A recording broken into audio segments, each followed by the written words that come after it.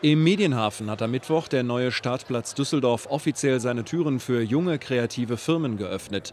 Start-up-Unternehmen bekommen dort unter anderem Hilfe bei Themen wie Finanzierung oder Arbeitsrecht. Außerdem erhalten sie die Möglichkeit, erste Kontakte zu bereits etablierten Firmen aufzubauen. In unmittelbarer Nähe zu Servicebüros und Beratungsstellen können sich Jungunternehmerinnen und Jungunternehmer auf insgesamt 1000 Quadratmetern Arbeitsplätze anmieten. Der Startplatz Düsseldorf im Flossihaus ist neben Köln der zweite Standort in Deutschland.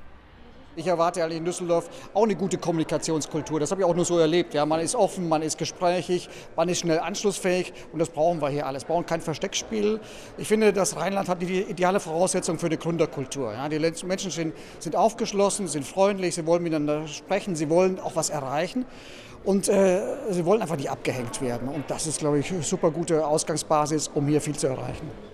Zusätzlich zum Beratungsangebot bietet der Startplatz Düsseldorf zahlreiche Workshops zu Themen wie Unternehmensgründung und Digitalisierung.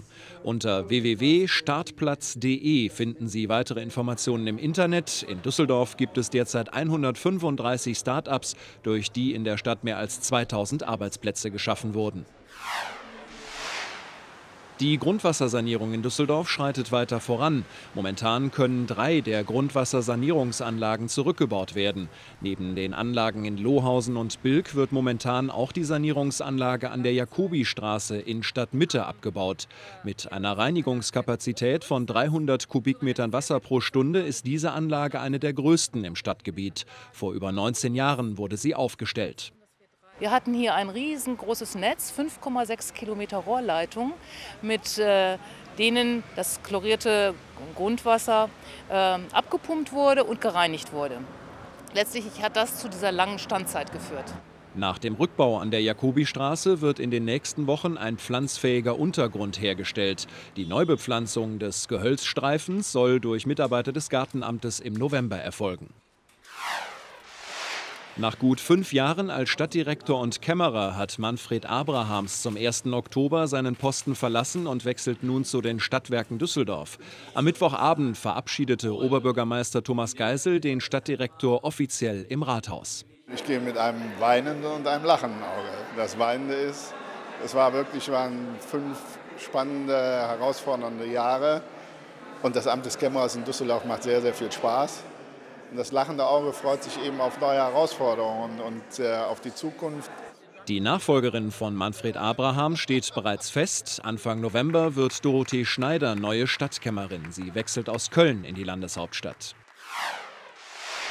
Die Stadt Düsseldorf erhält einen Kulturentwicklungsplan. Mit der Erstellung hat der Kulturausschuss am Mittwoch, den 30. September, die Kulturpolitische Gesellschaft beauftragt. In dem Verein haben sich bundesweit rund 1500 kulturpolitisch interessierte und engagierte Menschen zusammengeschlossen. Ziel des Kulturentwicklungsplanes ist, ist, äh, die Vision für die Kulturpolitik für die nächsten fünf bis zehn Jahre aufzuzeigen. Wo wollen wir mit unseren beschränkten Ressourcen hinkommen? Welche Schwerpunkte wollen wir setzen in der Kultur? Deswegen ist es erforderlich, dass wir zunächst mal auch eine Bestandsanalyse machen. Wir wollen, wo, wir wollen dann auch die Potenziale heben, erkennen, wo gibt es Ansätze, die wir verstärken müssen, um eben noch zu stärkerer Wirksamkeit im Kulturbereich zu kommen. An der Erstellung des Kulturentwicklungsplanes werden Kulturpolitiker, Künstlerinnen und Künstler, Kulturschaffende sowie Bürgerinnen und Bürger beteiligt. Die Ergebnisse sollen bis Ende 2016 vorliegen. Der Stadtrat hat für den Kulturentwicklungsplan Mittel in Höhe von insgesamt 250.000 Euro bewilligt. Die Spenden- und Hilfsbereitschaft für die in Düsseldorf ankommenden und lebenden Flüchtlinge ist unverändert hoch. Aus diesem Grund wird es ab dem 5. Oktober eine zentrale Anlaufstelle für Spenderinnen und Spender geben. Die Sammelstelle für Sachspenden ist in einer Lagerhalle am Vogelsangerweg 49 untergebracht. Derzeit werden vor allem Winterkleidung sowie Küchenutensilien, Handtücher, Decken und Fahrräder gebraucht.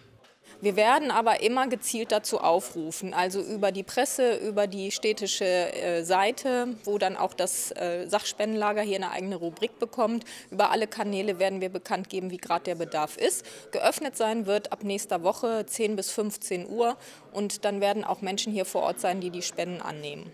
Die angelieferten Spenden werden auf rund 1800 Quadratmetern gelagert und von der Sammelstelle aus an die Ausgabestellen weiterverteilt. Die Halle am Vogelsanger Weg wird durch ehrenamtliche Helferinnen und Helfer besetzt.